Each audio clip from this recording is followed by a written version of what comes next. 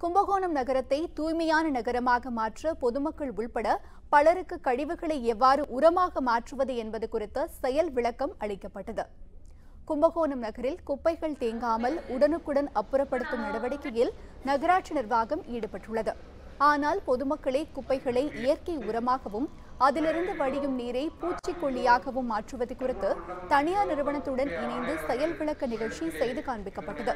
இந்த நிகழ்ச்சியின் போது காய்கறி பழம் உணவு இறைச்சி கழிவுகள் வாடிய இலைகள் உள்ளிட்ட மக்கும் குப்பைகளை பிரத்யேக தொட்டியில் அன்றாடம் இட்டு அதன் மேல் நைட்ரஜனை உற்பத்தி செய்யும் நுண்ணுயிர் கலவையை தூவி நாற்பத்தி ஐந்து நாட்களுக்கு வைத்திருந்தால் அந்த கழிவுகள் இயற்கை உரமாகவும் அதிலிருந்து வடியும் நீர் பூச்சிக்கொல்லியாகவும் மாறும் என்பதை செயல் விளக்கம் மூலம் செய்து காண்பிக்கப்பட்டது.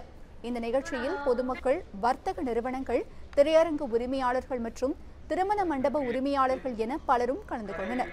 இந்த முறையை பொதுமக்கள் பயன்படுத்துவதன் மூலம் குப்பைகள் வெளியில் செல்லாமல் கும்பகோணம் நகரம் தூய்மையாக இருக்கும் என்று நகராட்சி ஆணையர் உமா மகேஸ்வரி தெரிவித்தார்.